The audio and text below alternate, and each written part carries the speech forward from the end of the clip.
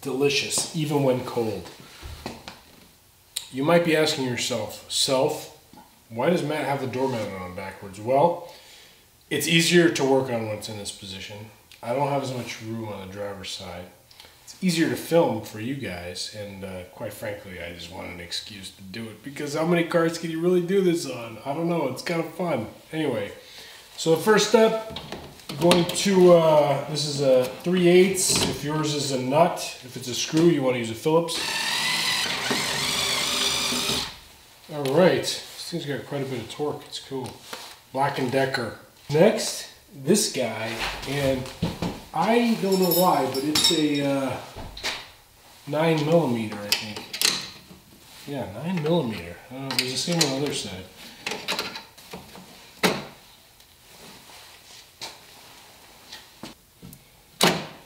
It's kind of uh, snaps in at the top there. Comes out. Should be a little gasket. Don't lose that. And these guys here, I'm gonna uh, get another kit, a full kit of these, because they're not very expensive, and these kind of look kind of shoddy. I'm not gonna reuse this uh, this aluminum or checker plate door panel. I'm gonna get something a little nicer, I think. If anybody wants it, let me know.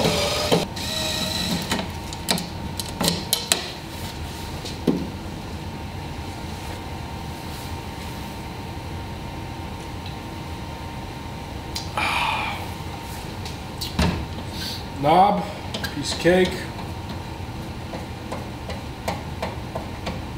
Except that it takes forever. You got some big screws here. What I do is something my daughter calls maximum torque. And for that I get the biggest drill bit I have and the biggest breaker bar I have and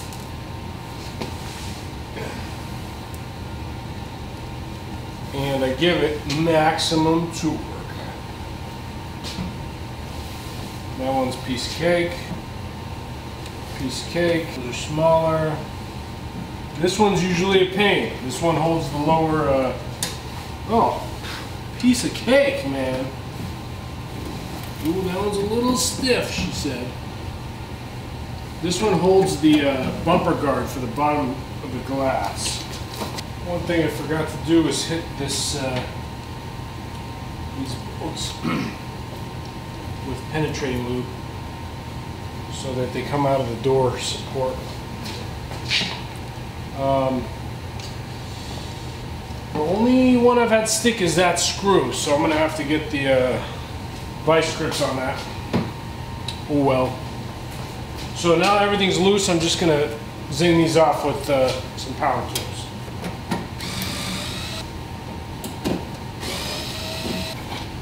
I almost forgot, before you do this, roll the window all the way up and then take apart the um, take apart the connections to the bear claw uh, latch to hold the window. Otherwise, you have to hold the window up out of the way to do it. Flashlight comes in handy. In case you're wondering what I was struggling with in here, um, I'm just getting these clips off and the way you do it is, it's very simple and elegant actually. You just push that clip off of the bar. Retainer. When you do that, you should be able to just slide that off. And all of them are like that. So now that you did that, you can take the bolts off the side, the bolts off the side of the door that hold the track in, and then pull uh, all that out. So actually loosening these up, I broke this uh, on the other side. So I have to buy a window track a backside window track. They're not that expensive. I mean, it's like 20 bucks or something, but you know, it depends on what kind of restoration you're doing, you know, and I'm not really sure, so I want to make sure I keep as many parts as I can. I, mean, I know I'm doing restoration, but I'm not really sure they're going to be.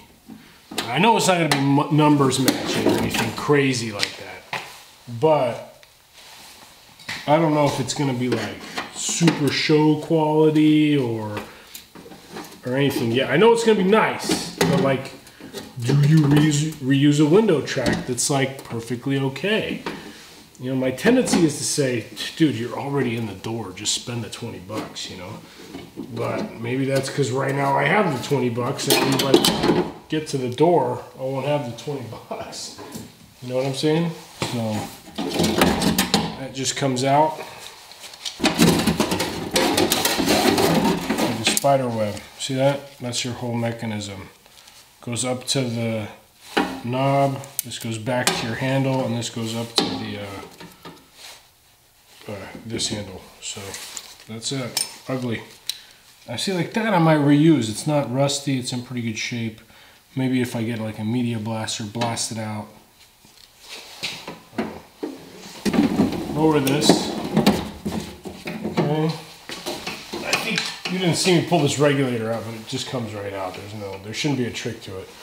And uh, then this track should also come right out. So that's the other track. Great. So now that that's done, how do you get the window out? That is a bit tricky. Not tricky. Tricky is not the right word. First, pop these clips out. The same look. Oh, I should be wearing glasses. All right. Perfect. Perfect. Those, you're going to get new ones anyway. And then here, you got to kind of, oops, dig out this, uh, this weather track channel thingy. The problem is I have that uh, bumper down there. So, out of the way, can free this up now. There you go. some guys say you can reuse this, but I think that'd be, I mean, this one's actually in pretty good shape, but you see even now it's still rusted, so I'm not gonna reuse that. Ah. Oh yeah. All right, so that's garbage, and I think there's one in here too. If I remember correctly, hey Naomi, if I remember correctly, I managed to turn this at a 90 degree angle. The problem is I had the bumper out at the bottom. Uh, you can't do it without taking that bumper out. So I'm going to get uh, some uh, help here and get that bumper off. I call this the suck because this is a terrible method to loosen anything. But I bet you guys do it. I bet you do. Bye guys. Bye. Let's try some less sucky vise grips. I bought these in Australia.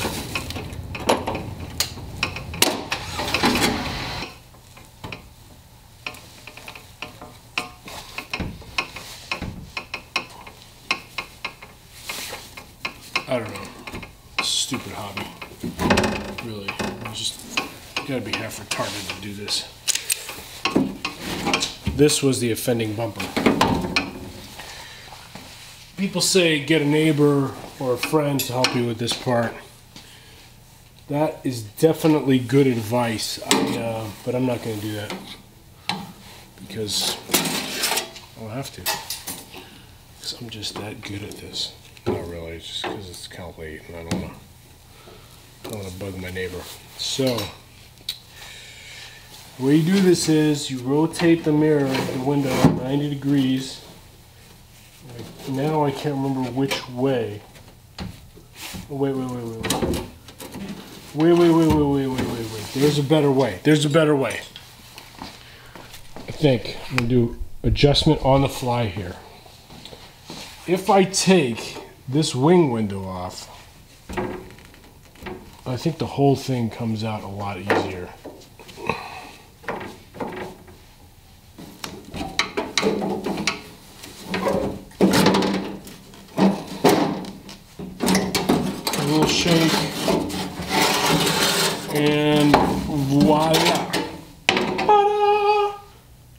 Next, we're gonna take the uh, the uh, thing out for the uh, the old lock thingy. Should just slide out. I don't know why that was difficult, but it just comes right out. Kind of holds it in place there. Holds it a little clip. Next step is this door handle, which is a massive pain because it's up high. A 3 eighths, I believe. Flashlight again. Never speak too soon. Broke the handle on this side, which I didn't want to do. I also broke it on the other side, so I gotta buy two handles now.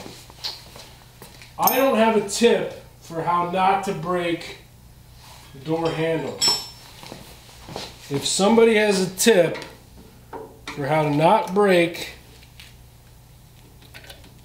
the door handles, I'm sure it would be very well regarded. I'm turning my attention to this uh, to the trim here real quick since this screwdriver works for that. It's a is that a square head? I think it's a square head. That's so weird. Oh, fun, fun, fun. Square head, square head. Nope. Is it a hex? What is that thing? No, no, that was. No, it's a it's a Phillips. God. Vise grips.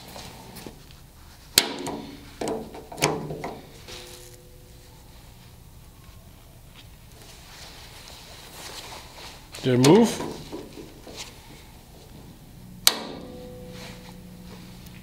That felt like it moved. Stupid screw. That was no joke. Like seven and a half minutes on a screw.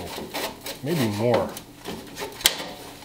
So you wonder why does a project take three years? Well, you do seven and a half minutes on a screw and this ain't your full-time job, it's gonna take you two years. This just came out on the other side. How do you get that in without scratching the paint later, honestly? All right, for the Ranger trim. Lieutenant. There's a couple tabs. One up here. It'd be awesome if it just pulled straight up, but no such luck. Tab there. And just two tabs. Two tabs. All right, these snap off, but they're, you feel like you're gonna screw them up. I don't know what the trick is to this. You just kind of got to get it started. And then it kind of, just gently kind of move it up the trim. And it'll end up with a boat. It'll end up with a bow on it. There's no way to avoid that. I don't think. If one of you guys have a better way, let me know. But you just keep moving up. Once you get it started, you can kind of take it off by hand. See that? And it's got a bow. And then you just kind of gotta straighten it back out. Okay. Maybe on your belly. I'm not gonna do it right now because I want to take my time and get it nice and straight. But that's how it comes off, and this is the original factory paint, lighter brown. Once you have the two bolts on either uh, side of the door off, you should be able to just work down your Ranger trim here if you have it, and pop it off the clip. Oh, I'm sorry. You're supposed to dis disregard that. Don't do that. Do not follow my instructions. Turn the bolts inside.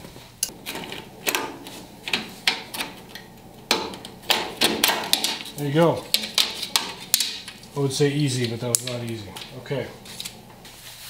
A word on Ranger trim. Um, these are all aluminum. All the trim, all the trim pieces, even though they're referred to as chrome, it's all aluminum. So keep them. I'm gonna try to polish them up and see how they look. If you try to replace them, it's pretty expensive. So I'm marking each one with where it came from and you know what the orientation was so that I don't struggle with it later. And I'm going to see if I can get some high quality polish and, and bring them back to life. That's a, that's a piece you might want to keep.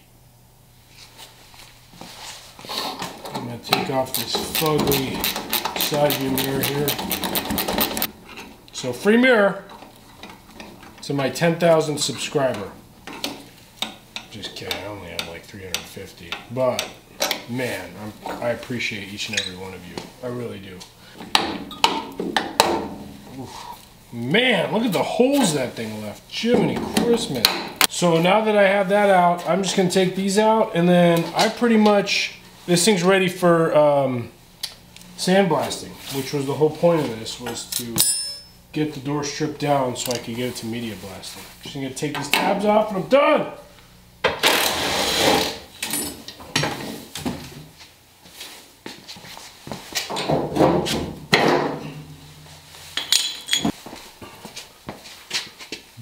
Door done, windows are done, fenders are done, hood, radiator, front nose, all of it ready to get disassembled.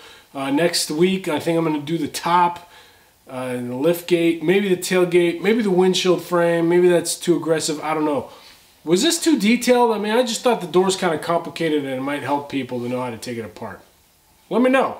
If it was boring, tell me. I mean, I could take it. I'm just trying to do the best I can. You know, I'm just a Bronco man doing the best I can. And it's cold right now. I mean, it's not like Minnesota cold, but I'm a California boy. This is this is cold. See you next time on Matt's Garage.